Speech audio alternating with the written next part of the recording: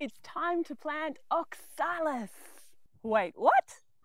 Yeah, oxalis. I'm not going mad, but I mean oxalis tuberosa. These guys.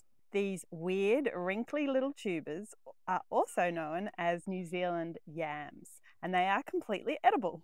The tubers can be cooked just like a spud, so you can roast them, boil them, or turn them into a salad, but you can also eat the tubers raw and the leafy foliage growth, which looks a lot like oxalis, the weedy one, is edible as well. It's got a nice peppery flavour to it.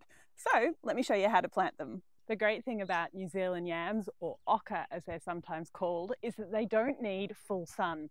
This is a spot here that gets morning sun and a little bit of midday sun, but thanks to the raspberry that covers the fence behind me, it gets full protection from the hot afternoon sun. So here's a perfect spot to plant them. All you need to do is dig a hole and pop them down about five centimetres and cover them back over.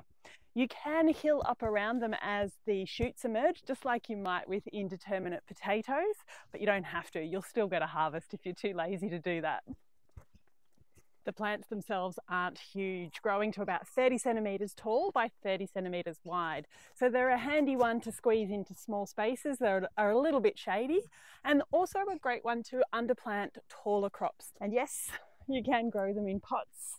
Something about 30 or 40 centimetres wide and deep is perfect for one tuber. And again, just plant it into premium potting mix, about five centimetres deep, and cover it over.